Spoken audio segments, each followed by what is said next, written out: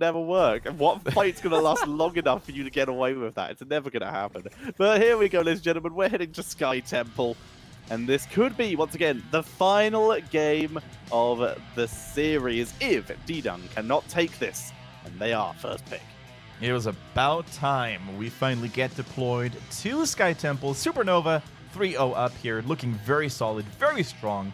I don't see a way D-Dung can crack their defenses right now unless they really show up their A game. Like, every single hero needs to be either a comfort pick or something that catches them off guard. There's no more room for something like, I'm going to pick this because it's good meta, but I'm not really 100% confirmed on this, on my own performance. So just don't pick heroes right now that are good because they're good.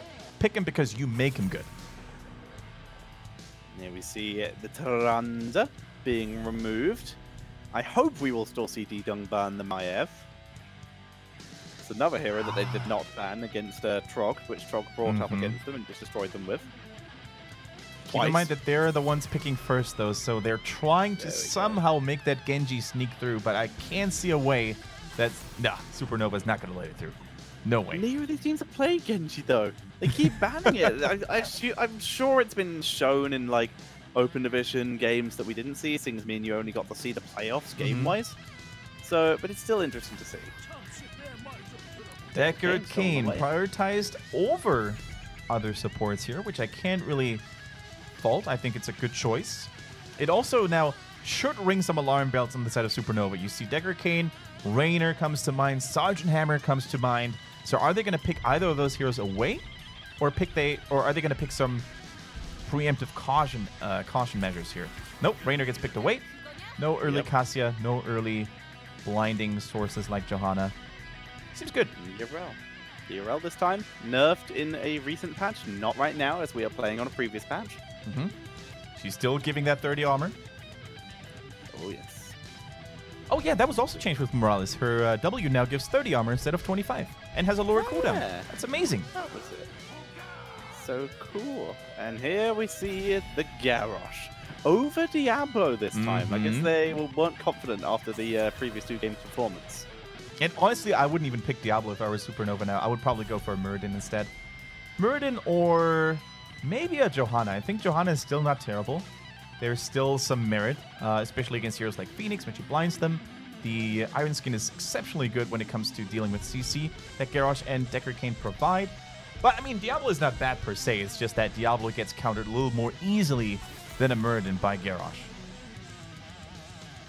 Comes the Whitemane Band, trying to take control of the support saber. Tyrande, Whitemane Band, deck is stolen. That's the majority of the tier 1 priorities. We're now looking at Malfurions and yeah. stuff like that. Yeah, what is really left for them to pick in the support department? I mean, Asian regions sometimes are a little more experimenting than uh, Europe, for example. NA has been going crazy in terms of sports all across the board. They play Lucio, they play pretty much everything uh, these days. But it is the Alexstrasza coming in. Sky Temple, I wouldn't say is her strongest map because there's not this one static objective that you can dominate, like an Infernal Shrine or a Volskaya platform. But still, it's probably going to get the job done. Into the Deckard Cain, though, Tetcher. Oof, the anti-healing with that abundant abundance, that could be a strong counter. Good. We see the first Sergeant Hammer, though. The Deckard Cain Sergeant Hammer with some oh, yeah. Blaze frontlining as well. That is gorgeous. So we're going to see some disruption. I'm not sure I like the Junkrat here. I would have seen very few issues picking a... Like, there's a little bit of hard engage, but I think the Zebo would have actually been pretty decent here. Maybe ah, not on Sky Temple, though, I think. Sky Temple is oftentimes a little too fast for Nazeebo to get to that well, power spike. You, don't need to get to 20 with the, with the Nazeebo against Hammer. The whole idea of Nazeebo against Hammer mm. is just Ooders and just stop stop him sieging up. Yeah, I mean, yeah, there's there's definitely ups and downs for them. Yeah. Uh, but I think it's just. I think it's safe to say that Ddung got the stronger draft. I I think so as well. It's definitely more synergistic. The Junkrat is an okay counter hammer, but not mm -hmm. exceptional. So, yeah, I think I could agree with that. All right, it all comes down to execution, though, and especially the two supports are probably going to face off each other there. And uh, if the Deckard Cain Emerald makes it through to the uh, Abundance when there's a lot of enemy heroes grouped up, that's going to be insanely powerful. But if Alexstrasza gets those good Dragon Queens in, some nice nicely timed Dragon uh, Cleansing Flames as well, then she can single-handedly keep her team alive. So, is Supernova going to stay in the Pro Division, or will Ddung buy themselves a little more time in this series? We'll find out on Sky Temple. Ddung on the left in the blues, and Supernova in the red on the right. And level one talents are standard. Very standard indeed. We've mm-hmm. seen the neural stim pack coming in from Blaze. That can sometimes vary. Raynor, on the very odd occasion, will go for the Exterminator here, but not in this case. Everything else is pretty normal. Haven, man, the MVP. If, if we had an MVP vote system like in China, Tetra, I'm pretty sure he would have yeah. gotten at least one of the votes up to this point. He's this time on the Anub'arak. He shows us a different warrior every single game, it feels. Yeah, once again, once again, my argument of like I, I have this argument with a couple people with a couple people over my career of the MVP, the best player in the game, doesn't have to be on the winning team. Because right now, I would say the MVP of this series, the most valued player, would be Hero, but of course, his team have yet to win a game yet. That is true. Also, I like how Junkrat just easily dealt with uh, the Sergeant Hammer, knocking them back. Already the rotation comes through here. No chat knows exactly how to counter the Sergeant Hammer. I mean, he's had plenty of time actually to uh, to do that in the Pro Division when they played god tier Sergeant Hammers like Rich, for example, and Gen G. So he should know, and he's probably going to bring a lot of experience to that. Tunnel away, Haven eats a little bit of damage, but he's completely fine for the moment.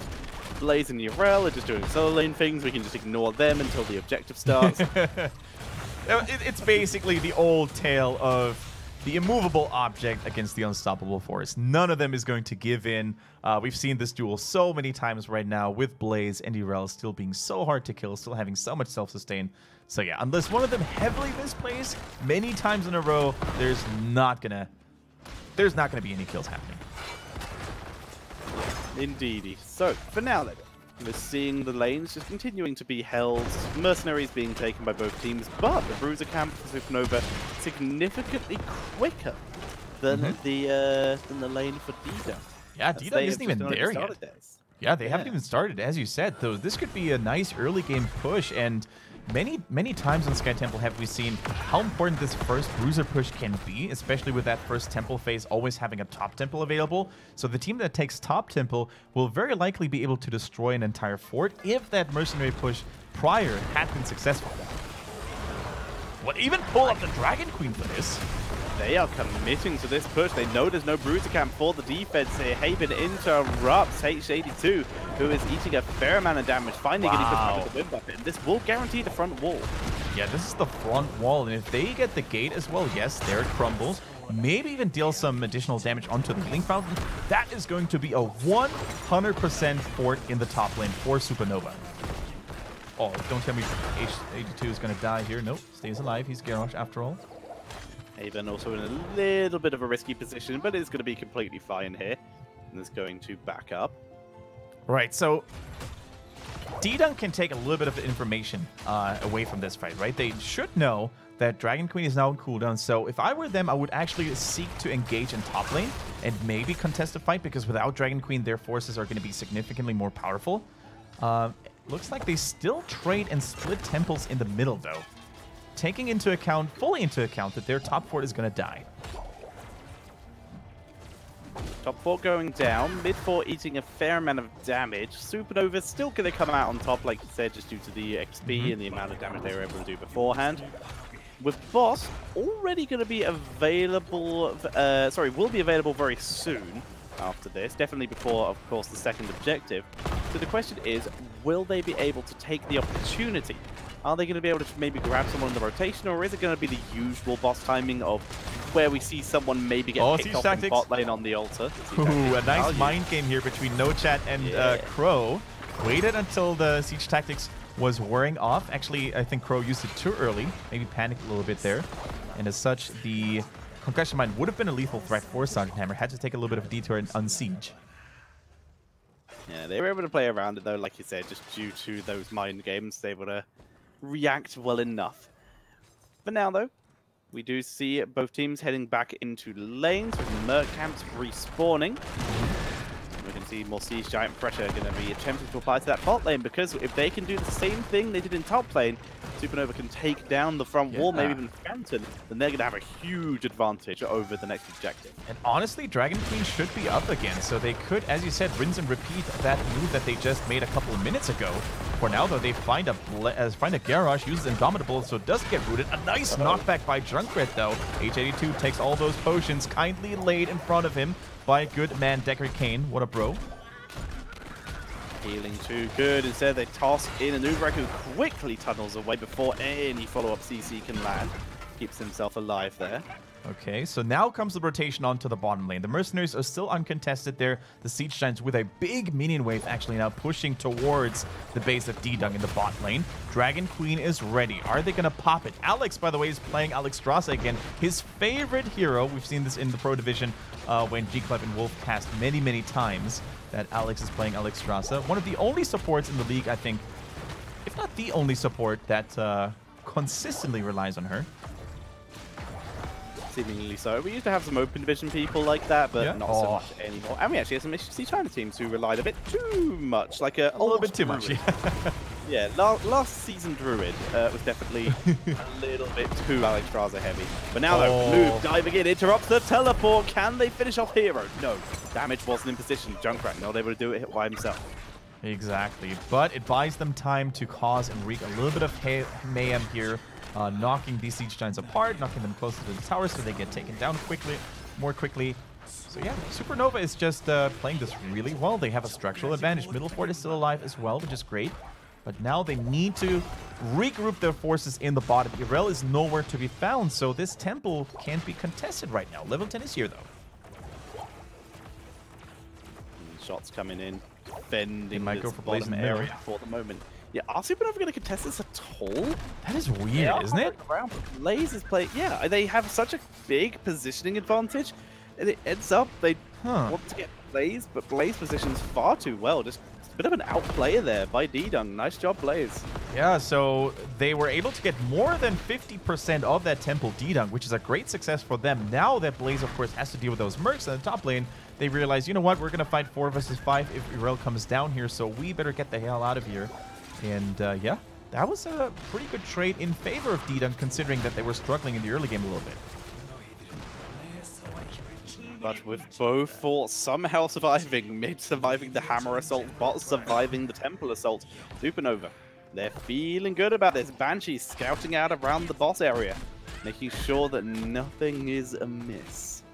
All right, not a single kill has taken place, Tetran. We're already 7 minutes and 30 into the game you can really feel the tension, you know. On the one hand, D-Dung, they don't want to fall. On the other hand, Supernova, they don't want to mess up right now. They don't want to, you know, waste the opportunity to cement their spot in the Pro Division.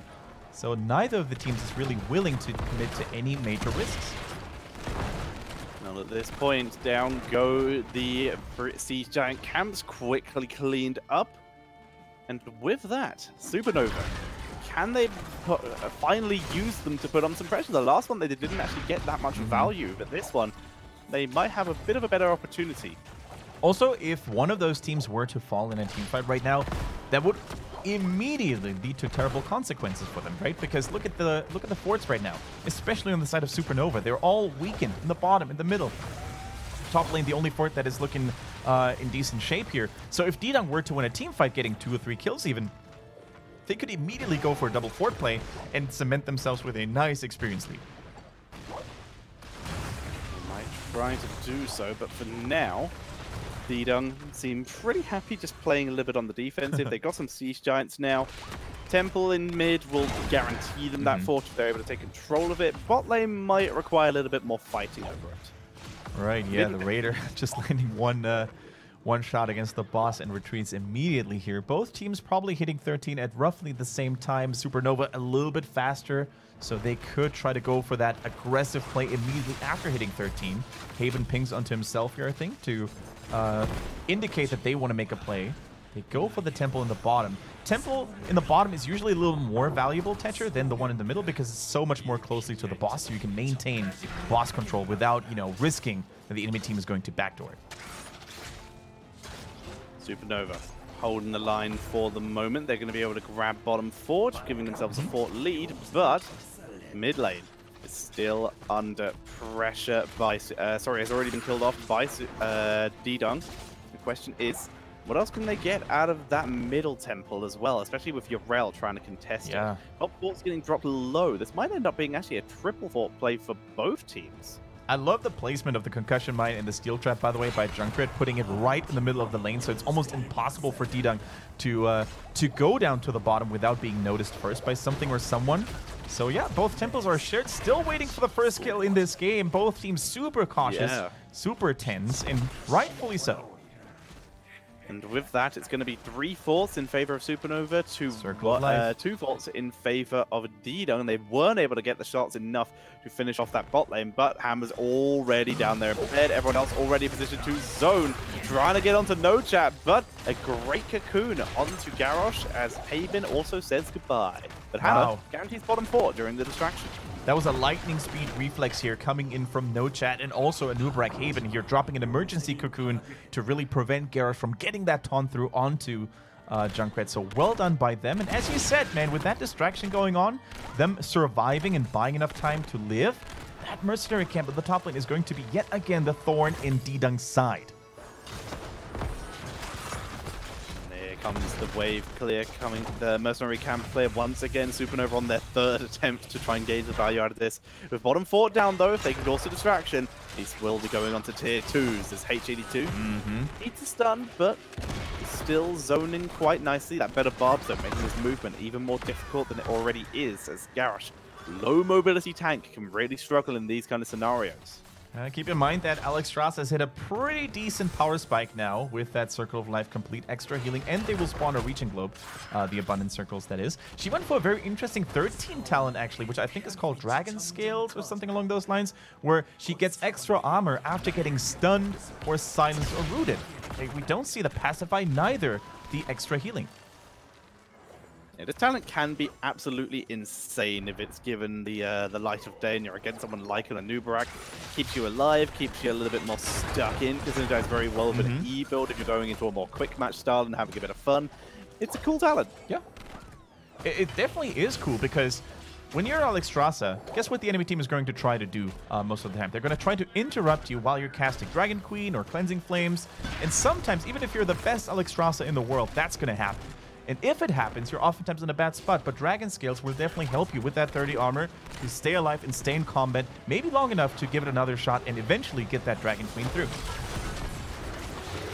see the damn RIP-Tire coming in. Uh -oh. Beautiful Tornado zoning so the RIP-Tire away. Dragon Queen pushes Blaze into the RIP-Tire just for good measure. But here comes the salvo on the retreat, but Anub'arak diving forward, doing some damage. The healing from Alexstrasza is completely shutting them down, but Anub finally gets taken out due to the bunker damage. Bunker damage is good, so it was a one-for-one -one trade. Main tank for an offlaner. I think that was a good trade for D-Dung, though, because without a noob, there's not really a whole lot they can do to hold this front line. Yrel is very susceptible to that CC, and I think Supernova, they have to give this up. Yrel on the way to top lane. There's a Mercenary camp pushing in favor of D-Dung as well. This game, Tetcher, is looking mighty good for our amateur team, for open division contenders. Here comes the quick wave clear they're, as you said, D-Dung, they're fine looking good, but we've seen this before. Supernova, no they're keeping everything managed, but if they get killed, Yrel, this could be a huge deal. Leaps, heals, cube, triangle, and down goes Yrel. And I love how everybody is staying away from the melee range here for Yrel, so she can get the auto attacks, the healing auto attacks from her level 1 Talon Maraad's insight into play. Perfect play by D-Dung, not grouping up, not splitting up, and killing yet another one. And that's staggered deaths for Supernova. D-Dung might be at the brink of making it, might be at the brink of stabilizing. That is a boss call, though, if I've ever seen one. The temple is occupied, and Supernova is trying to get value on the other half of the map. Or maybe just a Merc Invade. Okay, that's safer, I guess. Good too that. Mercenaries being stolen away by Supernova. A person down, and they still want to put some aggression onto the mm-hmm. map, but they need to do it in an area where, of course, the Dung aren't. They know at least play the top lane, so they know they at least get the 4v4. Here this is their Garrosh. best opportunity to do so. Garrosh very sensibly wondering whether they were doing their own siege giants or trying to sneak a boss while Blaze wasn't there. He was right to make that assumption, and scout it. He was lucky that they were doing the uh, simpler method. Yeah, for a moment I thought they would maybe try to go for a boss and uh, at least fake it so they would draw attention away from that temple. But of course the Mercenaries were the much safer route, buys them a lot more time here as well. So now Yrel, what is she up to? She's deep-pushing top lane, very important. That keep had fallen actually. So Supernova now one keep down in the top lane. Ddung having a massive boost now in terms of structural advantage, having a really good Thorn in Supernova's side, and with top lane especially, when someone needs to defend that, that opens up the boss area so much more. And so, they find... Never mind, I was about to say they find Haven, but Haven just leaves. And as such, the game continues, and it's a very slow pace. There's 3 mm kills total in this 15-minute match. One kill every five minutes. both teams look for their angle. Hammer rains in a little bit of napalm. Supernova, 320 for D-Dung are going to try and grab this. Both teams on level uh, 3, their Stormpear talents. This is their best chance to do so. The Tornado of the boss being a bit of a pain. Garrosh Cocoon. Garrosh, let's try and rush this quick. Oh, the stun hits Anub'arak there as well, taking a little momentum away here, but they secure the boss. Garrosh is still chilling in the cocoon. Another great Wing Buffet, but the health bars are dropping though. A great hearted defender with the cleansing flame coming in taunt though onto Raider who's getting dropped here. And that's a retreat coming in from Supernova. They get the boss but lose a member. All right, that was still a decent trade for Supernova. Guess why? They're going to have to send at least two members to deal with that boss. Mercenaries are pushing top and de-pushing top for Supernova as well, and there's only one temple active right now. And guess where Kirisaku is already marching towards?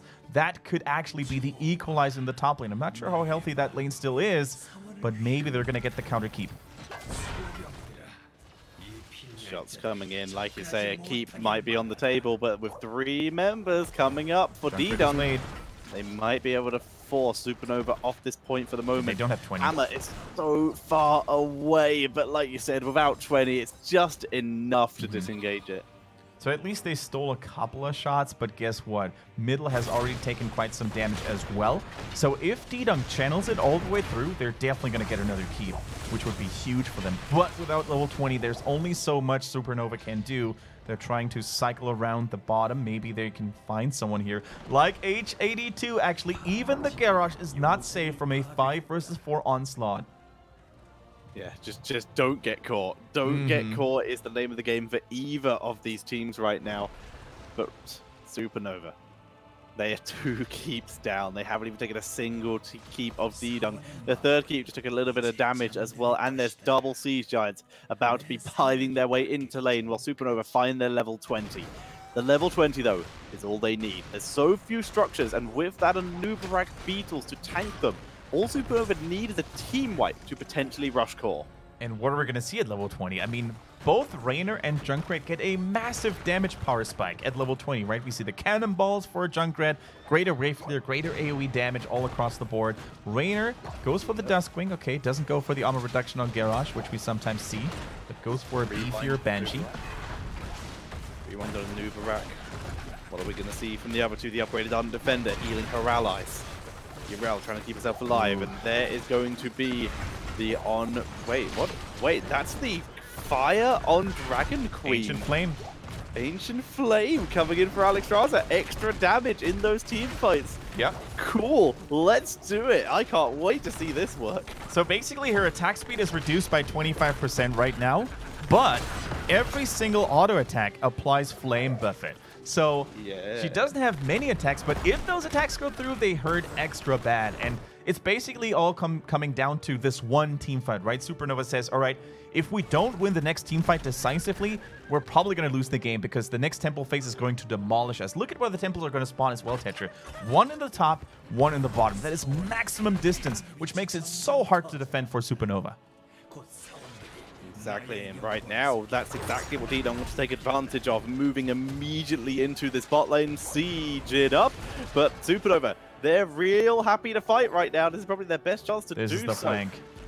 This is the flank. This might be what they have to do to make this kind of play. Look Here at Blaze's positioning. He's ready to try and make a turnaround play because everyone's grouping up on this wraparound from the side. In comes Yrel. Quick toss on her, trying to lock her down. RIP-Tire coming in. Good damage, but Hammer. Hammer, Hammer. It goes Raider as they turn around, but Hammer's already down before the bundle can land. We've got Kimchi backing up Salvo is getting a decent amount of damage, but Cleansing Flame being used a bit aggressively, trying to take out Hero, but the shield is too high. Yrel is relentless. Oh She's trying what? to make that happen. What? Whoa! Alex with the dive forward picks up the first one, looking for a second, but can't. They're not done down, yet. But they find Kimchi into the wall, and Alex picks up a second kill with the help of Junkrat.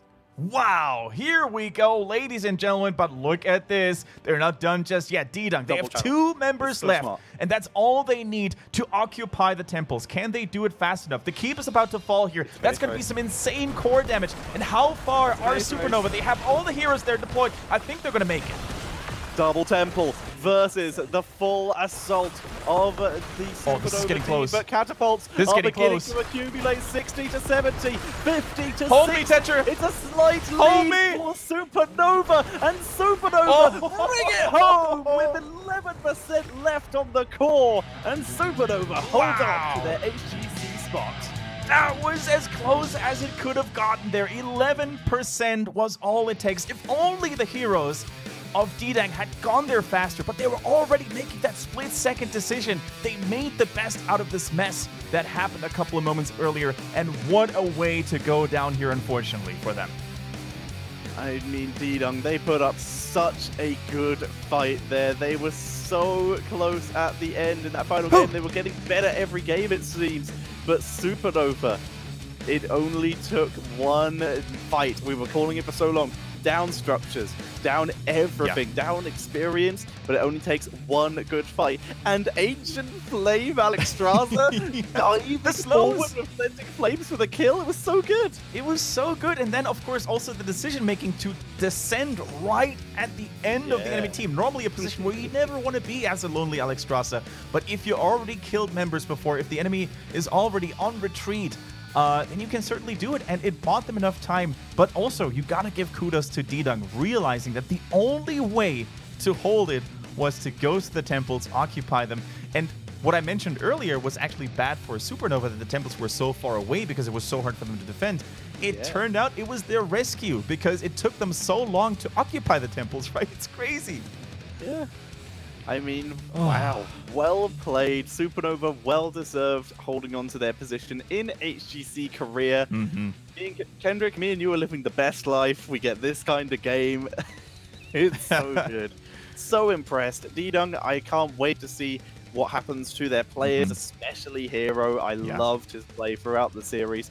I really want to see what happens to them, whether it's uh, the the uh, Korean Open Division again, whether some of their players get picked mm-hmm. up. If there's any roster changes in HGC Korea, we'll have to wait and see. And once again, we have to also highlight Haven, man. Every single game, oh. he showed us a new tank. He uh, showed us a new facet of his uh, hero arsenal. And no matter what you put him on, the Garrosh, the ETC, the Anub'arak, he always made those plays happen. Remember that boss fight? It seemed almost impossible for them to take it, but that isolating Cocoon on Garrosh was trying to go for a sneaky flanking maneuver. If he hadn't done that, Garrosh would have been in the backline and it would have been a different fight, but it bought them so much time and brought them back into this game, actually. So kudos to both teams showing strong individual performance but also good team fights. Unfortunately, there's only one team that can stay in the Pro Division, and in that case, it's going to be Super Nova.